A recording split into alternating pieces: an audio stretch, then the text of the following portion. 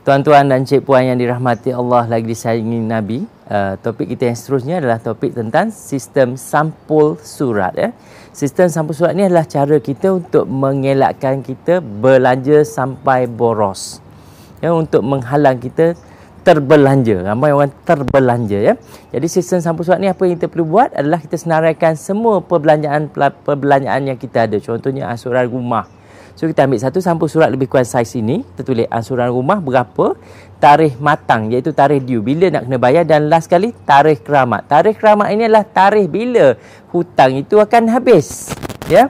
Contohnya uh, bulan Jun tahun uh, 2024 ya. Ini juga akan memberikan tekanan kepada kita. Setiap kali kita tengok sampul ya itu untuk ansuran kereta ansuran rumah uh, contoh belanja dapur. Cuma belanja dapur tidak ada jumlah lah. Uh, ma- maaf belanja dapur memang ada jumlah. Yang tidak ada jumlah adalah bil elektrik. Bil elektrik memang tidak ada jumlah. Jadi kita tulis ya bil elektrik tarikh due ni tarikh yang bila patut kita bayar tarikh keramat tak adalah tarikh keramat. Tarikh kita mati bil elektrik mungkin ada lagi kita yang dah meninggal ya.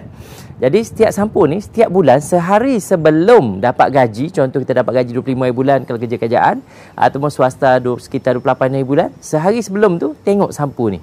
Setiap sampul ada contoh kita ada 40 kad kredit pun sama ada hutang kad kredit tulis. Kalau tuan-tuan dan cik puan ada kad kredit dan masih menggunakannya. Maksudnya ada hutang dan masih menggunakan uh, tem, uh, berapa bila dia akan habis dalam masa 32 tahun daripada sekarang ya jadi buat senarai ni sehari sebelum dapat gaji tengok sampul ni tak payah masuk duit pun dalam tu tengok sampul je kerja kita jadi apabila nampak insya-Allah hutang tuan-tuan pun akan jadi cepat habis sebab kita akan jadi stres. Masuk pasar raya pun sehari sebelum nak pergi pasar raya kita tengok Allah banyaknya beban saya. Jadi apabila kita masuk ke pasar raya nafsu kita nak berbelanja pun dah jadi kurang ya. Teknik sampul uh, surat untuk mengelakkan kita terbelanja lebih dan juga terlebih ambil uh, hutang ya, ambil hutang-hutang yang tidak diperlukan. Ya.